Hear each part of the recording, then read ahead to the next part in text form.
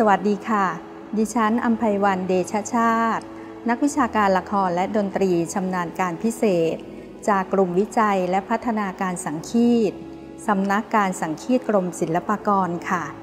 วันนี้ได้มีโอกาสมานำเสนอการจัดนิทรรศการพิเศษ เนื่องในวันอนุรักษ์มรดกไทย พุทธศักราช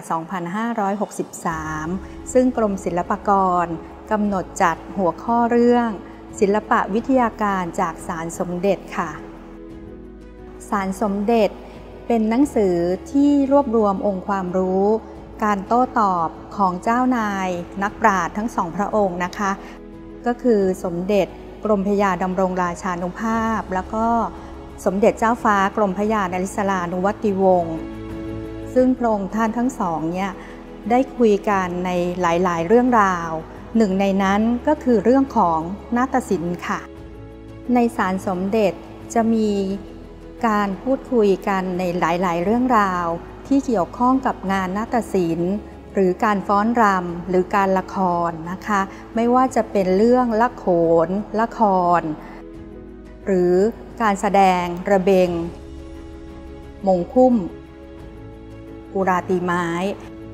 นอกจากนี้แล้ว พระองค์ท่านยังได้พูดถึงเรื่องที่มีความสำคัญเป็นอย่างยิ่ง ที่ต่อยอดมาจนถึงปัจจุบัน นั่นก็คือเรื่องของตำราท่ารำค่ะ สมเด็จกรมพยาดำรงราชานุภาพท่านได้ทรงอธิบายไว้ว่ากระบวนละครฟ้อนรำถึงแม้ได้แบบมาจากอินเดีย แต่ไทยก็มาแก้ไขจนผิดรูป งดงามกว่าของเดิมเป็นอันมาก ที่ท่านทรงอธิบายไว้นั้น แสดงให้เห็นถึงพระอัจฉริยภาพที่ทรงวิเคราะห์ว่างานของนาฏศิลป์นั้นน่ะมีบรมครู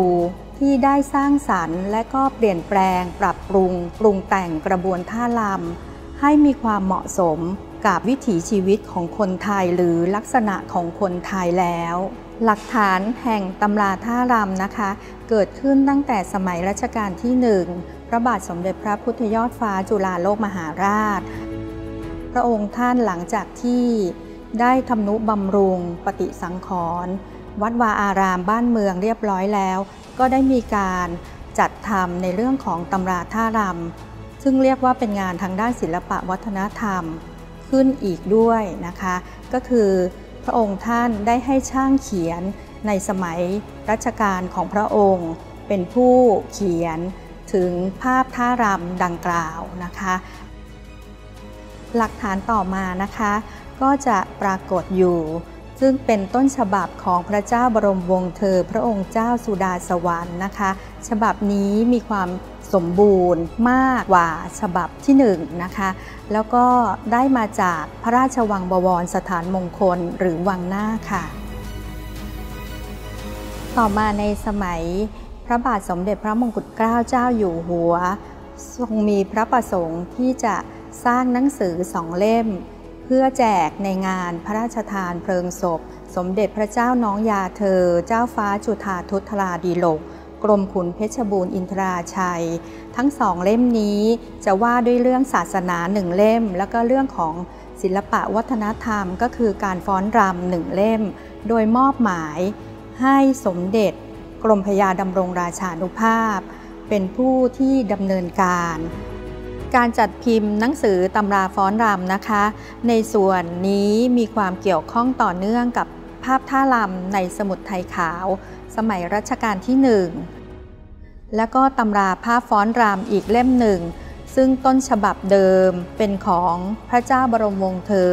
พระองค์เจ้าสุดาสวรรค์ดังที่เราได้กล่าวไปแล้วข้างต้นนะคะ แต่เนื่องจากความไม่สมบูรณ์จึงได้ให้ช่างในกรมศิลปากร และช่างเขียนในหอสมุดวชิรยานนะคะ ช่วยกันเขียนภาพขึ้นใหม่ ตามแบบท่ารำจากต้นแบบเดิม เพื่อให้มีความสมบูรณ์มากยิ่งขึ้นค่ะ หลังจากที่ได้ภาพเขียนที่มีความสมบูรณ์ยิ่งขึ้นแล้ว สมเด็จกรมพยาดำรงราชานุภาพ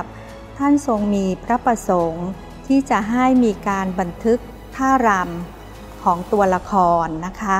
พระยานัตกานุรักษ์จึงได้คัดเลือกตัวละครจากกรมมหรสพ ตัวพระและก็ตัวนางมาเป็นผู้แสดงแบบ ตัวพระก็คือครูวงการจนวัตรส่วนตัวนางก็คือครูสงเงียม นาวีเสถียรดังภาพที่ท่านผู้ชมทุกท่านได้เห็นอยู่เบื้องหลังนี้นะคะ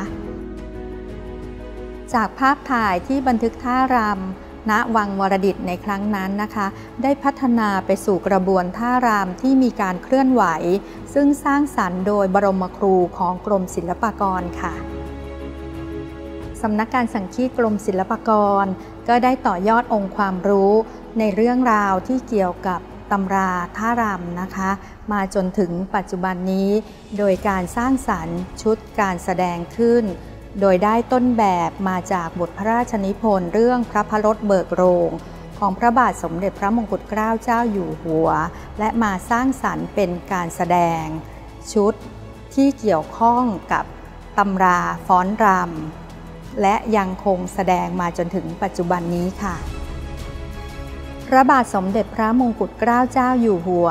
ทรงพระราชนิพนธ์การแสดงชุดพระพรถเบิกโรง โดยนำชื่อท่ารำจากกรอนตำรารำมาเรียบเรียง โดยมีวัตถุประสงค์เพื่อที่จะเผยแพร่ ให้ประชาชนชาวไทยได้รู้จักท่ารำมากยิ่งขึ้น นับเป็นพระมหากรุณาธิคุณ ต่อกรมศิลปากรและวงการนาฏศิลป์ไทย อย่างหาที่สุดมิได้ ที่พระองค์ท่านทรงพระราชนิพนธ์บทละครไว้ให้เป็นต้นแบบสำหรับ การสืบสารต่อยอดองค์ความรู้ ที่กรมศิลปากรนำมาสร้างสรรค์การแสดงจนถึงปัจจุบันนี้ ดิฉันขอเชิญชวนทุกท่านติดตามชมนิทรรศการพิเศษ เรื่องศิลปะวิทยาการจากสารสมเด็จ ซึ่งกรมศิลปากรได้ดำเนินการอยู่นี้นะคะ นอกจากในเรื่องของนาฏศิลป์แล้วยังจะมีในเรื่องของดนตรี โบราณคดี พิพิธภัณฑ์ และเรื่องอื่น ๆ ที่เกี่ยวข้องกับภารกิจทุก ๆ ด้านของกรมศิลปากรค่ะ